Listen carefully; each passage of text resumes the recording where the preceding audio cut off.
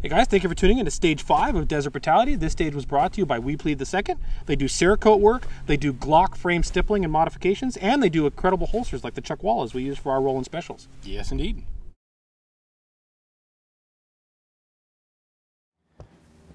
All right, guys, we are back. Stage five of Desert Brutality. Today we're in the back canyons of the Cowtown Range, and we are doing run and gun stages in live field conditions. Yeah, this is absolutely field conditions. Most of the stages back here today are shooting across canyons, running up mountains, through sand washes, etc. And this is our day two, so we've already been through four stages of this yesterday. Yeah. So we got four more of that today. Yeehaw!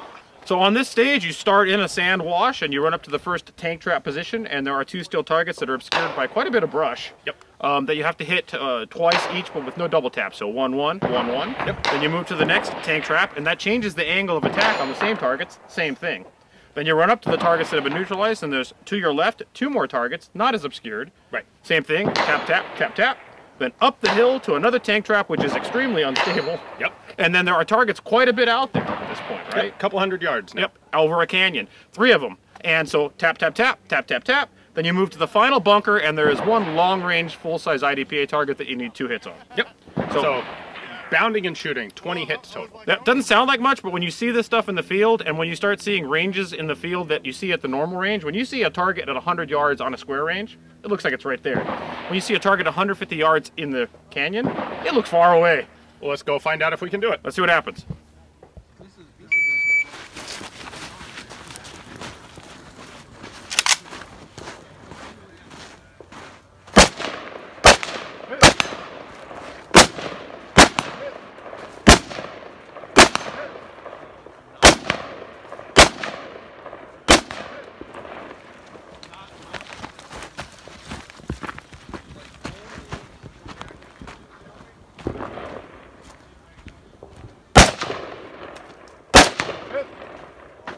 Can't see it.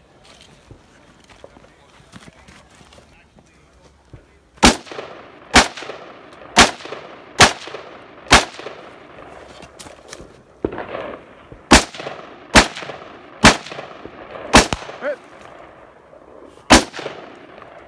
Hit. Hit.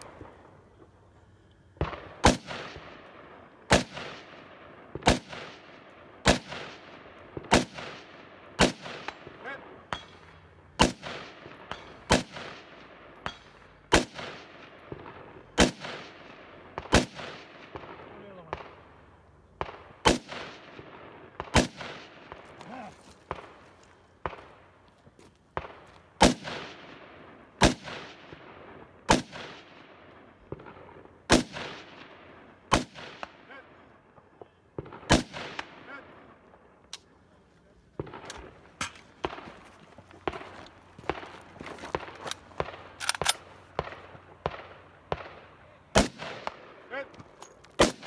Hit. That's it? One more. Hit. Good.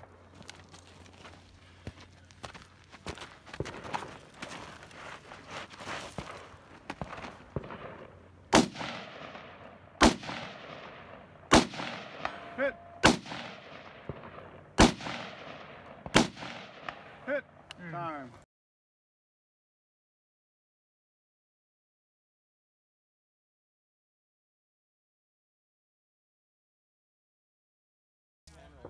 Go!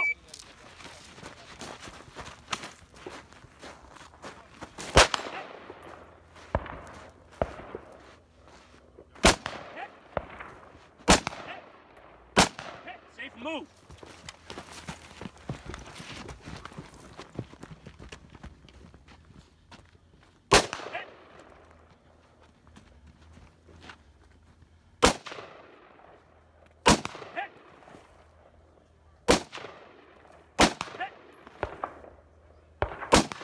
Move.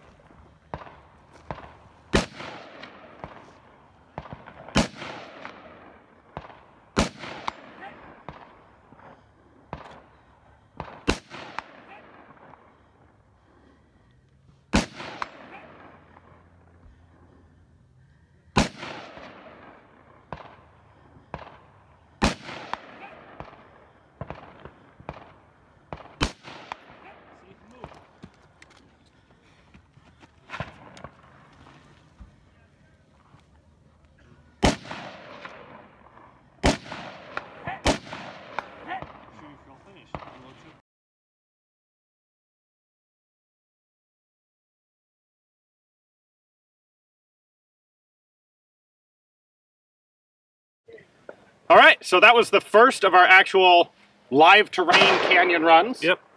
I was thinking it would be harder and cooler and more interesting than the ones in the bays. Mm-hmm. I think it kind of was. Okay. Um, having the targets, you know, like at, at the monthly two gun matches, Mhm. we're pretty used to having unpainted targets against the, the just the, the flat background of a berm.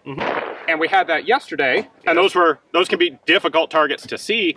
Today we had it not against a flat colored berm, but against shadows, dirt, terrain, bushes, and a bunch of these targets were also quite difficult to see.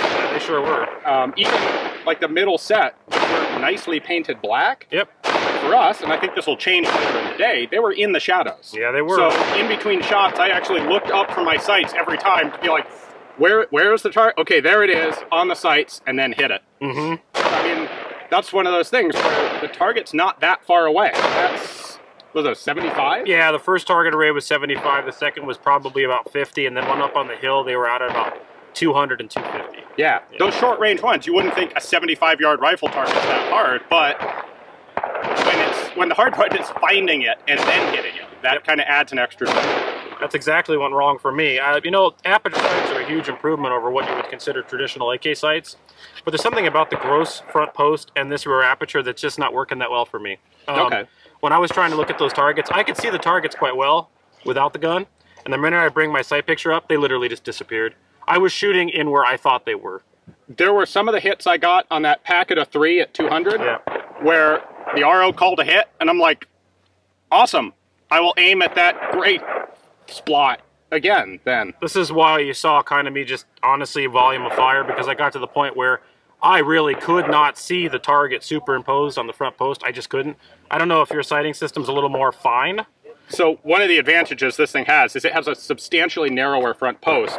Yeah, this is a big does. old AK style post. Looks like a thumb sticking out there. I'm not sure about the, the rear aperture. Yeah, I don't know. I think they're fairly similar, Yeah, but this is pretty tiny. the, the size of the front sight really does make a big difference. Yep. That said, I have pulled a fairly substantial lead, Yeah, you got 50 seconds on me combined from yesterday and today now. and there are only, at, that I can think of, like three times in the past when I've had that much lead and lost it. So, That ain't gonna happen. uh, But we'll see. We got three stages left. But well, I, mean, would not be sad to win Classic with an awesome FAMAS. Nah, but we've fun. got three stages before any of that's going to happen.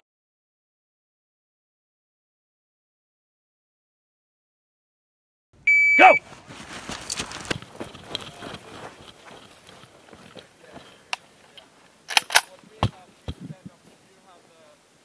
Hit!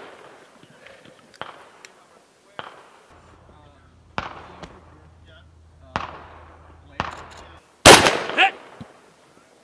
Hit! Hit! Safety on. Move to your left. Good muzzle.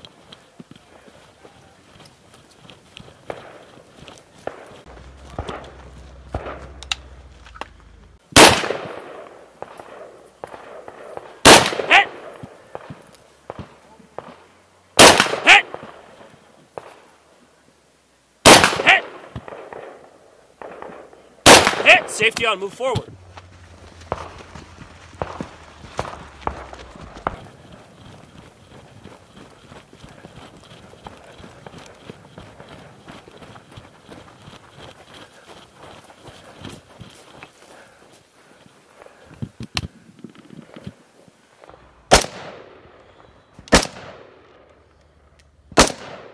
High.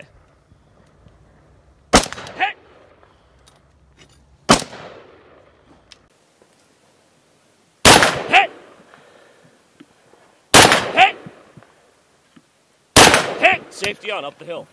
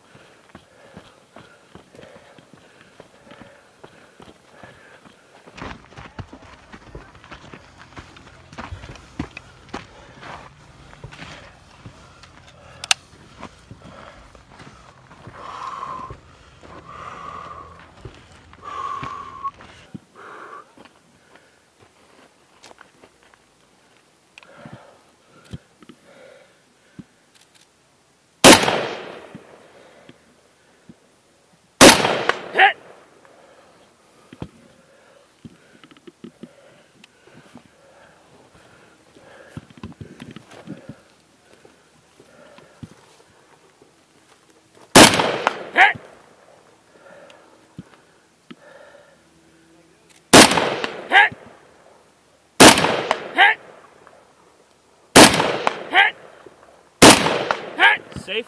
Move up. Bunker.